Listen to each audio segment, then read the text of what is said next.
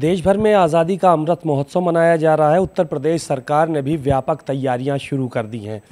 राकेश सचान जी से बात करेंगे। उत्तर प्रदेश सरकार में मंत्री हैं। तमाम काम दिया गया है। मुख्यमंत्री की तरफ़ से भी आदेश आए हैं। कई बड़े काम सौंपे गए सर, क्या कुछ ज़िम्मेदारी दी गई है आपको आज़ादी का अमृत महोत्सव मनाने के लिए और तिरंगा यात्रा वगैरह जो निकाली जा रही है?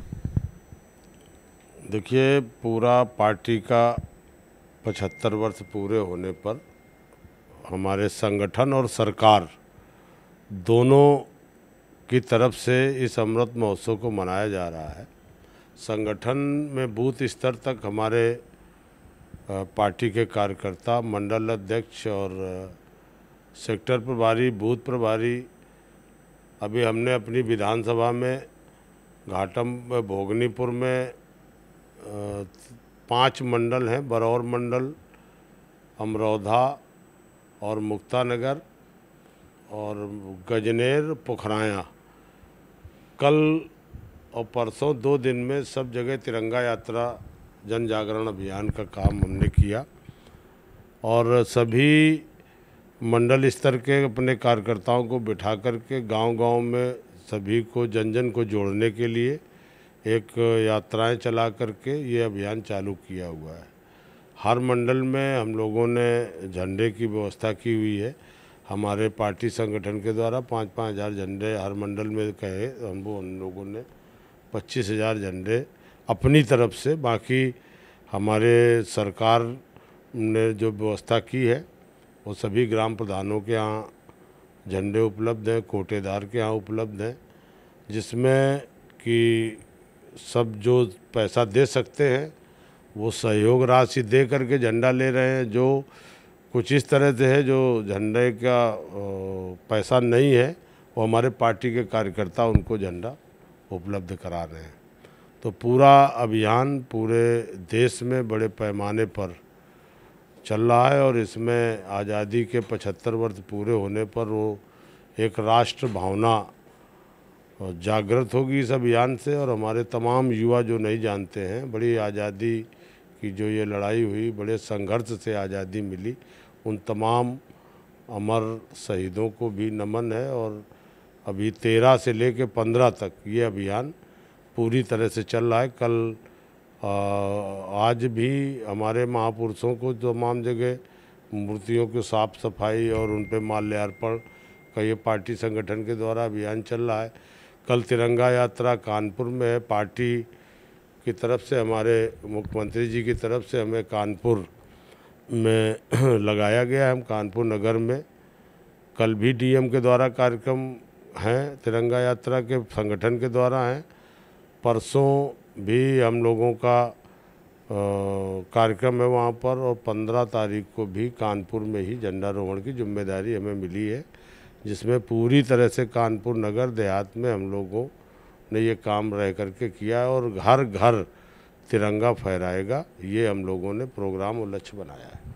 विभाग की तरफ़ से आप लोगों ने क्या कुछ सहयोग किया? आपके विभाग ने भी बड़ी ज़िम्मेदारी ली थी झंडा बनाने के लिए देने के लिए। तो उसमें कितने झंडे वगैरह आप लोगों ने बनवाए हैं और बांटे हैं? विभाग के द्वारा दो करोड़ झंडा खरीदने की ज़िम्मेदारी मिली थी हमारे एमएसएमई को। जिसमें एक करोड़ चौहत्तर हज़ार झंडे हम लोगों ने आज तक सप्लाई कर दिए हैं। जहाँ जहाँ जो जो जनपद बताया गया था, वहाँ पर हमारे वेंडर जो थे, वो वहाँ पर जहाँ डीएम को रिसीव करा के आए जो अभी पच्चीस छब्बीस हज़ार झंडे बचे हैं, वो आज से कल तक सब पहुँच जाएँगे। जो दो करोड़ का लक्ष्य था, वो पूरा हो जाएगा। एक सवाल और था। ये तो तिरंगा यात्रा और अमृत महोत्सव की बात हो गई। बड़े आरोप आपके ऊपर लगे। पिछले दिनों देखा गया कि मीडिया में काफ़ी चर्चा रही कि आपने जज के हाथ से ऑर्डर की कापी छीन ली, आप फरार हो गए। इस तरह की बातें सामने आई थी। क्या कुछ सच्चाई थी उस पूरे मामले को लेकर? देखिए, ये सब प्रोपोगंडा था और तथ्यहीन और बेबुनियाद खबरें, भ्रामक खबरें चलाई गई।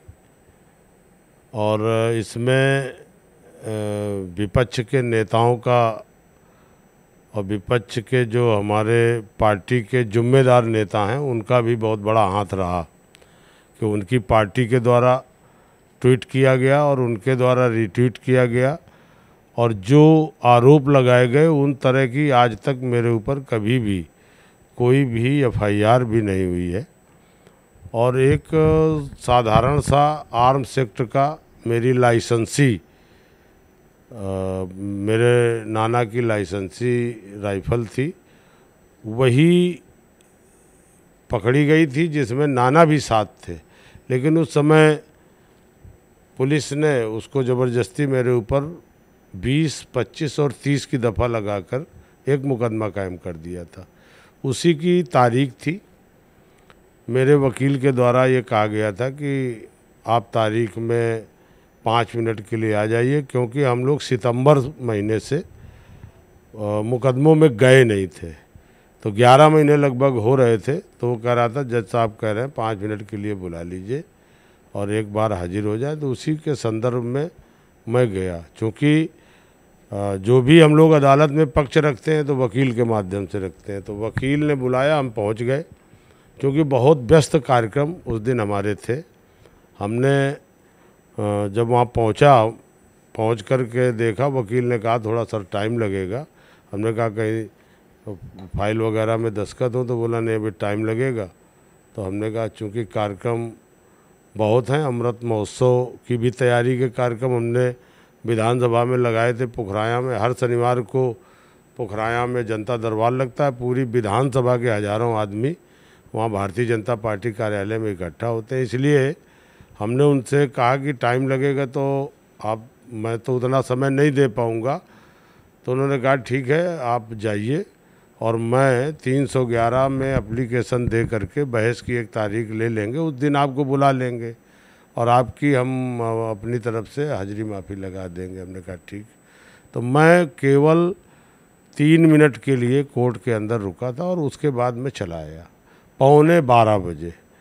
बाद में जो ये आरोप लगाया गया और नेताओं ने जिस तरह से ट्वीट, रिट्वीट और तमाम हमारे इलेक्ट्रॉनिक मीडिया के भाइयों ने गलत सलत प्रचार किया, विशेषकर सबसे पहले आपके चैनल जो आप बात कर रहे हैं, आपके चैनल के ही संवाददाता ने शुरू किया, वो जुम्मेदार हैं, प्रेस क्लब के अध्यक्ष हैं, उनसे मेरी बात भी हुई। उन्होंने कहा, कहाँ है? मैंने कहा, मैं पुखराया जा रहा हूँ। उन्होंने कहा, आप अपना वर्जन दे दीजिए। हमने कहा पुखराया जा रहा हूँ, किसी को भेज दीजिए। इसके बाद भी झूठी खबरें चलने लगी कि गिट्टी चोरी, मिट्टी चोरी, जबकि कहीं आज तक इस तरह के मेरे ऊपर आरोप नहीं थे। और जो बेबुनियाद तरीके से ये आरोप लगाए गए, ये गलत थे। और जो कोर्ट की तरफ़ से कहा गया कि हमने जज का आर्डर ले लिया आर्डर लेके हम फरार हो गए। गिट्टी चोरी का कोई मामला नहीं था उसमें। आज आज तक अपनी लाइफ में कोई मेरे ऊपर चोरी डकैती गुंडागर्दी का कोई भी मुकदमा नहीं है। जितने भी मुकदमे सब छात्र राजनीति से जुड़े हुए उसी समय के मुकदमे थे। और जो एक खबर आई कि अदालत से मैंने आर्डर ले लिया और आर्डर ले करके मैं फरार हाँ, ये ये आरोप था कि जज से कॉपी जज के हाथ से ऑर्डर की कॉपी छीन कर जो है वो आप भाग गए वहाँ से। भागे भागने शब्द का इस्तेमाल किया। हाँ नहीं भागने शब्द का इस्तेमाल किया गया लेकिन मैंने तो कहा उसके बाद में पुखराया गया वहाँ जनता दरबार में रहा वहाँ पर भी प्रेस मीडिया के लोग मिले। और उसके बाद एक पीआईए संस्था थी जिसका औद्योगिक भाइयों का भी जो उद्यमी थे उनका भी कार्यक्रम था वहाँ पर भी मैं गया। तो कोई इस तरह की बात नहीं थी ना मैं भागा था ना मैं कभी भागा हूँ। खबरें ये भी आई कि आप को पुलिस तलाश कर रही है आप फरार हो गए हैं इस तरह की भी खबरें आई। नहीं नहीं सब ये बेबुनियाद खबरें थी ना कहीं मैं भागा था ना कहीं पुलिस तैयार वो कर रही थी हमें ढूंढ रही थी मैं सीधे आवाज़ में रहा लोगों से संपर्क में रहा मीडिया के लोग संपर्क में रहे और कहीं कोई अगर हमने छीना झपटी की, आर्डर लिया तो वो सारे वहाँ पर सीसीटीवी कैमरे लगे हुए हैं पूरी कोर्ट में एंट्रेंस से लेकर के अंदर तक। तो उनमें अगर कोई जाँच टीम तलाशेगी तो खुद देख लेगी कि किसने फ़ाइल छीनी, किसने कागज़ छीना। इस तरह की कोई खबर नहीं थी सब बेबुनियाद। और विशेषकर हमारे जो विपक्ष के नेताओं का विपक्ष पार्टियों का एक झूठा प्रोपोगंडा करके सरकार को बदनाम करने के लिए और हमको बदनाम करने के लिए साजिश की गई। तो यानी कि ये इसमें विपक्ष का बहुत बड़ा हाथ रहा। आप कोई छवि को धूमिल करने के लिए कि आपकी छवि धूमिल हो आप यही कहना चाह रहे हैं? हाँ हाँ विपक्ष का पूरा हाथ था क्योंकि सबसे पहले विपक्ष का ही ट्वीट आया बिना सोचे समझे। देखिए अखिलेश जी एक बड़े नेता हैं, उत्तर प्रदेश के मुख्यमंत्री रहे और आज प्रतिपक्ष के नेता हैं।